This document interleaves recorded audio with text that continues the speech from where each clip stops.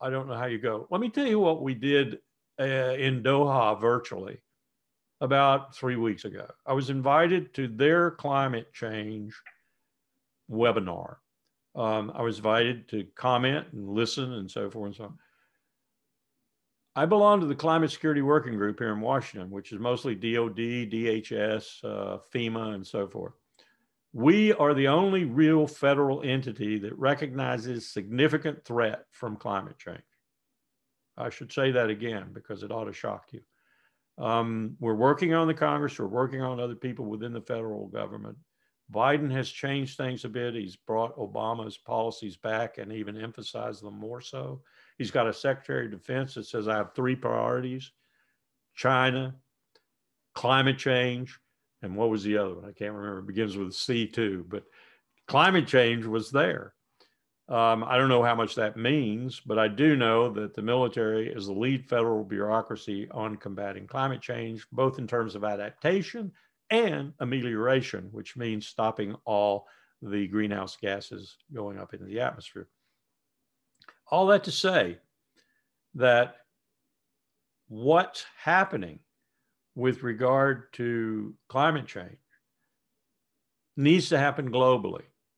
And I hope that was part of the conversation at the G7, the NATO summit, and elsewhere. It needs to happen globally. We need to have people beginning to deal with that because if we don't, we're in real trouble. Many of the scientists with whom we consult in the CSWG on a routine basis from NASA, from RAND, from other places, think it's too late. That's the truth of it. It's too late. That we're going to suffer catastrophic climate change, that by mid century, we will have an entirely different planet. By the end of the century, we'll have over 500 million, perhaps a billion refugees if they aren't killed in the previous days. Um, and the peer powers, who will be the last to be hit, the global south will be first probably, will be the last to be hit, but we're already being hit. Look at the fires, look at the hurricanes, look at the devastation, the drought in the southwest, and so forth. We're already being hit, but we will be, we will not get the full effects of it until late in the century. And we'll put machine guns and troops on the border and shoot people.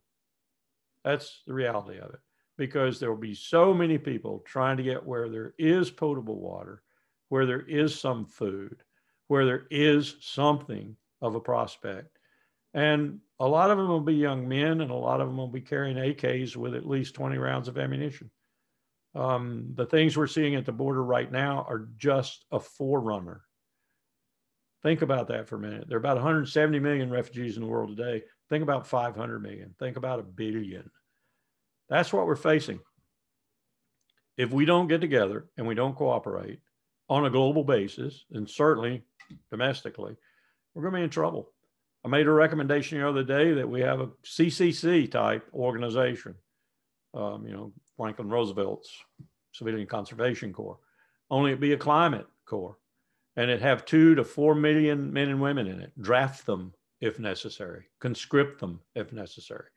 And these people are going to be the people who have to deal with the increasing effort to combat the effects of climate change, whether it's fires all across the West and increasingly in other regions of the country, whether it's drought. The military just declared, all the services just declared drought as the number one threat climate change will produce. We thought it would be sea level rise because that's what we've been dealing with billions of dollars necessary to adapt places like San Diego, Norfolk, Charleston, Pascagoula, and so forth.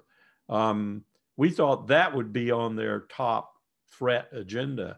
And it's high, but drought is their number one because there are 200 installations in the US alone that are threatened by drought, directly or indirectly, because they're connected to their civilian communities. And if the civilian community is threatened, so is the military reservation. Uh, and it's not that different around the world either. Think about the South China Sea and the militarization of those atolls and little islands by China. So what? In 30 years, they'll be gone. They'll be underwater, just as Palau will be underwater, just as Kwajalein will be underwater. Um, long rambling story, but we've got a real challenge on our hands, perhaps the greatest challenge the planet and the human race have ever faced.